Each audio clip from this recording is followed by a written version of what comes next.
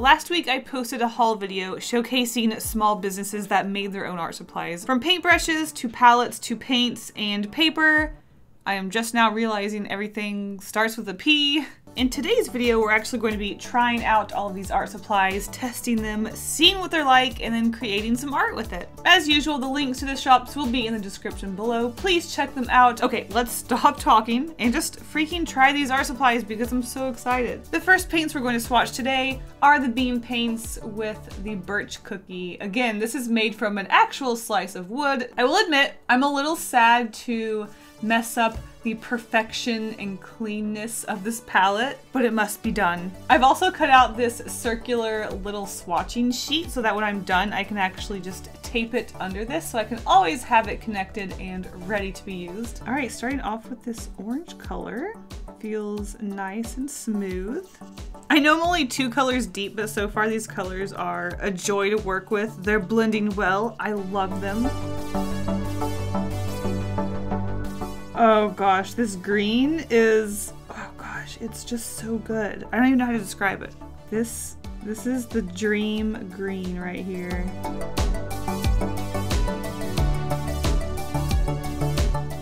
So here are all of our beam paints swatched on her little circular swatch color palette and these are absolutely beautiful. I just, I feel like they're both earthy and also very bright and colorful at the same time. They were a joy to use and I can't wait to use them in a full piece. So let's continue swatching because we have a bunch of other paints to swatch as well.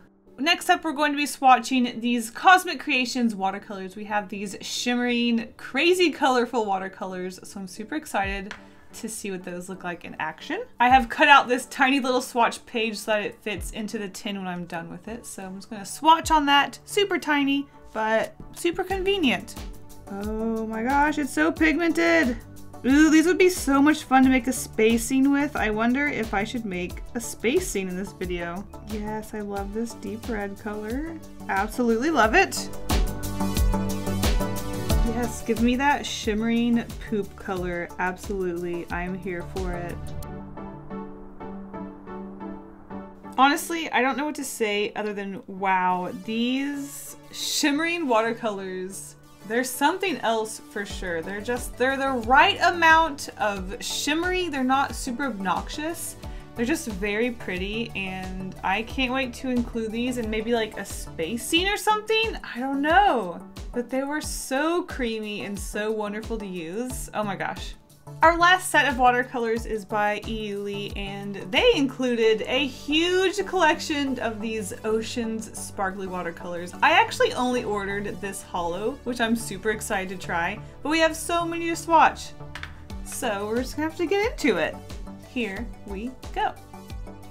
These are so interesting. I don't think I've ever used a watercolor like this. It's like they have an undertone of blue, but then their sparkles are a different color, so you get this neat, interesting mix of the two colors.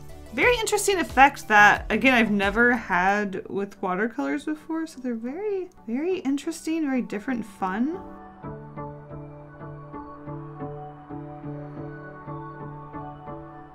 It's so interesting. If you hold these at a certain angle, they all turn into this really dark, deep blue color with the way the light hits them, I guess. I, I don't know how it works, but it's so interesting. If you tilt them a different way, you can definitely tell this one's green, we've got some purples, some blues, a teal, but again, if you tilt it, oh my gosh, that's so cool! They all turn like this super dark color.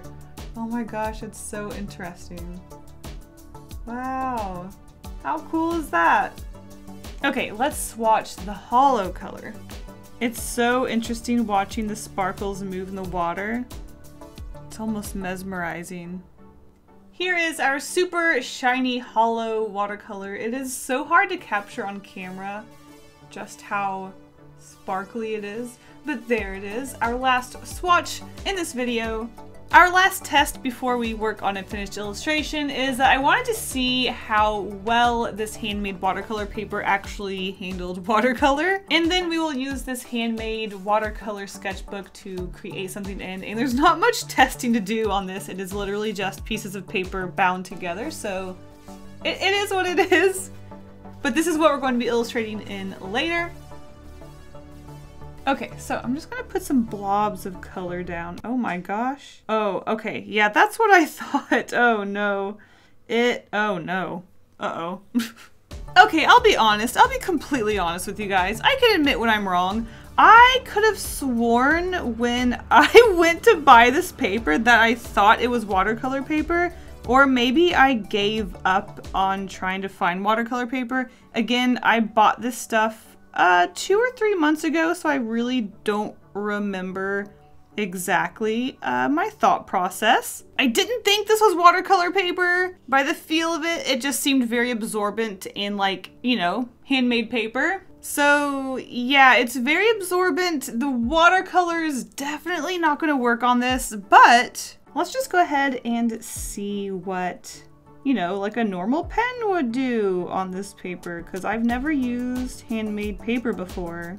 It is very interesting when you are drawing on this paper and your pen wants to go this way and that way because there's just so many bumps and crevices. I'm honestly kind of impressed with how well the pen is working on the paper. I don't know what I expected for some reason. I guess I just expected it to maybe be a little bit more absorbent with the ink. I don't know. I bet this paper would even be really good for something like, um, I don't know. Would it? Colored pencils? I'm really not sure. I'm very inexperienced with colored pencils. I just hit like a weird chunk and it made my pen kind of like jump. It was very interesting. You don't know what you're gonna get out of this paper. It's funny. Actually, I am curious, how well does it erase? Let's do a little test over here. Do a really hard pencil. Ooh, also, it kind of falls apart a little bit, so I think maybe this paper is probably best with pens because the, I guess, pointiness of a pencil can be kind of harsh. I'm just gonna use my kneaded eraser here. Oh, wow, that came up really easy actually. Oh, look at that! Oh, wow. Okay, I'll be honest, that erased, I, wow, okay. That erased a lot easier than I expected. Though it does look like we do have a little bit of paper chunkage in the eraser. My apologies to anybody who thought this was watercolor paper and especially to White Dragon paper. That is completely my bad. I'm a dingus. I feel like I could doodle on this paper all day. Something about it just being handmade makes it so much more fun. Let this be a lesson to you. A lot of people ask me for watercolor tips and ask me why their watercolors are really hard to use on paper. You might be using the wrong type of paper. Look at look how wet it is. It's still wet. This is our handmade paper doodles. I love this paper, really fun. Definitely going to include this in some sort of art project in the future. I loved it. Look at that texture, it's just so much fun. You looking at it? Look at it. Okay, it is time to use our handmade watercolor sketchbook. This one actually does have watercolor paper in it that was hand bound. Let's make a doodle, let's make an illustration using all of our watercolors and different supplies. Definitely gave me some space vibes, so let's see what we can come up with.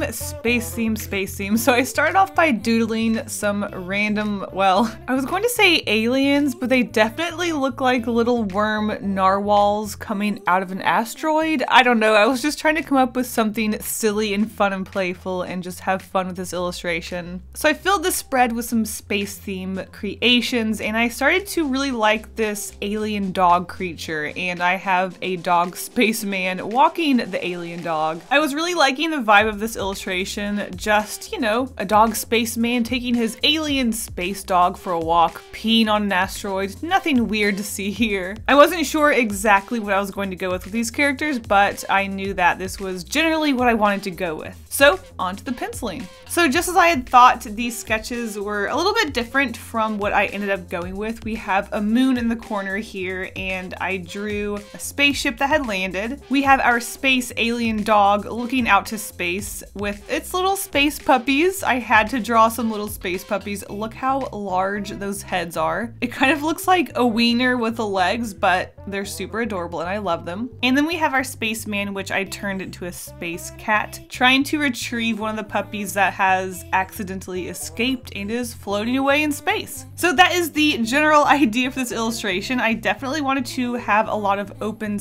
open space. What a funny pun, Kasey. Totally intentional. I wanted to have a large open area where I was going to paint in the space because I really wanted to showcase these shimmering, shining watercolors. So at this point, there's not too much I can review, but with the watercolor sketchbook, the paper that was used is the Canson 140 pound watercolor paper, a good quality, sturdy watercolor paper. You can't go wrong with Canson. I know the fact that I have a string going down the middle of my illustration might bother some people, but I'm looking at this watercolor sketchbook as just that, a sketchbook where I practice, doodle in, and not intend on creating finished pieces that I want to use for anything so having the string down the middle of my illustration was kind of fun in a way that it was really interesting to work around. This is a sketchbook, so if I ever do want a finished illustration that doesn't have a string in the middle, I'll just use a loose piece of paper. Overall, really enjoyed the sketchbook. It laid really flat. It was nice to work in. Nice, nice. Moving on to the watercolors, I actually found out, just as I was about to start coloring the moon, that there is no black in these watercolors. None of the sets I bought have black. So it was really interesting. I think this is actually the first time I've mixed my own black watercolor, and I think I did pretty good. There's a slight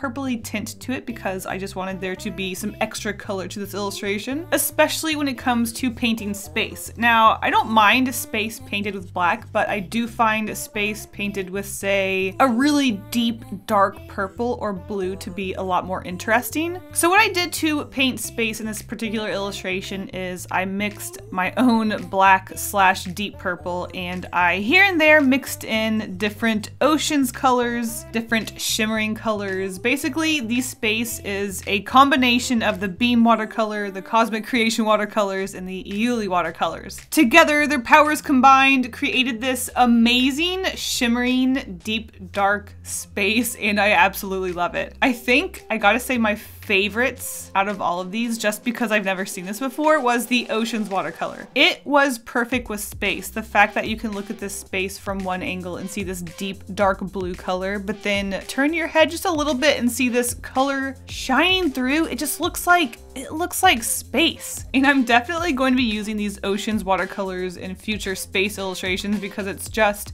so perfect. You can even tell from the different angles when I paint from the side on the bottom, you can see this really dark blue color, but from the top you see a more colorful space. Overall, all these watercolors were a joy to work with. They mixed really well, they layered really well. Look how vibrant and colorful these beam watercolors are. They're just so colorful. Of course, the Kumo paint palette was perfect for my mixing needs, and these little squares are the perfect size for an illustration like this. Loved it. And the watercolor brushes from Sugar House Ceramic were also great. I don't know where the actual brush tips are from, but they worked really well. I have absolutely no complaints with them. Overall, I would definitely recommend all of these small businesses. They all seem to create quality products. They were super nice when I needed help, and also so thankful that you guys were already checking out their shops. So thank you so much. Please check the links in the descriptions if you want to get your own handmade art supplies. And I think that is going to be it for me. Just check out this space. Just just check out the space,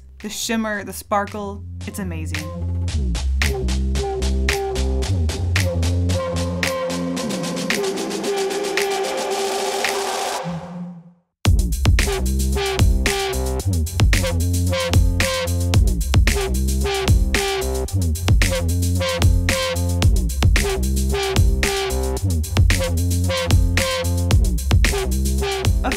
Back to say a huge thank you to my patrons for all of their support. You guys are seriously amazing. I could not be doing this without you. If you want to get early access to my videos, secret sketches, and more, check out my Patreon link in the description. Thank you guys all so, so much for the support. Stay golden. Bye.